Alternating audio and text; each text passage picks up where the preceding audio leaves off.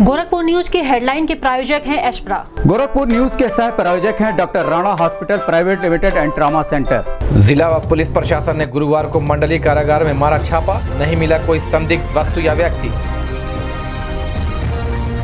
बालिका सुरक्षा अभियान के तहत बख्शीपुर स्थित एक स्कूल में एसएसपी ने बालिकाओं को पढ़ाया सुरक्षा का पाठ कहा अगर कर रही हैं अपने आप को असुरक्षित महसूस तो करें पुलिस से संपर्क। गोरखपुर पुलिस है आपके साथ।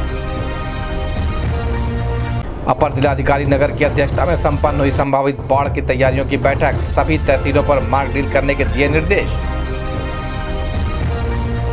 नगर निगम गेस्ट हाउस में आयोजित की गई नगर निगम कार्यकारिणी की बैठक। महापौर सीताराम जायसवाल ने कहा, शहर में साफ़ सफ़ाई, जल निकासी और महानगर वासियों के हितों के लिए लिए गए महत्वपूर्ण निर्णय।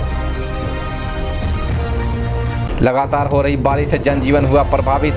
बुधवार को 26.7 मिलीमीटर बारिश किया गया दर्ज। नदियों के जलस्तर में भी दर्ज की गई वृद्धि। आने वाले कुछ दिनों में भारी बारिश की संभावना।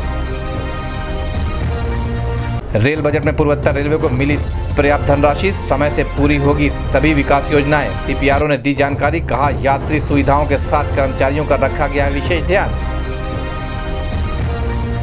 गोरखपुर विश्वविद्यालय के प्रतिकुलपति की अध्यक्षता में हुई बैठक में नहीं बन पाई हॉस्टल के मेस शुल्क घटाने की सहमति।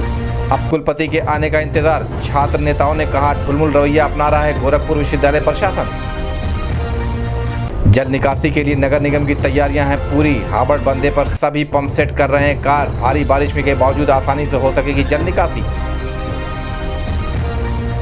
राज्य कर्मचारी संयुक्त परिषद उत्तर प्रदेश ने बैठक कर पेंशन बहाली सहित 11 सूत्री मांगों को लेकर 6 अगस्त को धरना प्रदर्शन करने की बनाई रणनीति। आउटसोर्सिंग पर तैनात स्टाफ पुरुष नर्स ने ईएमओ पर लगाया अभद्रता का आरोप।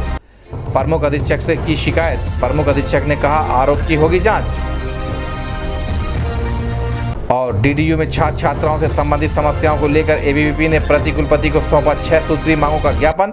प्रतिकुलपति ने दिया आश्वासन, जल्द से जल्द समस्याओं का किया जाएगा निराकरण।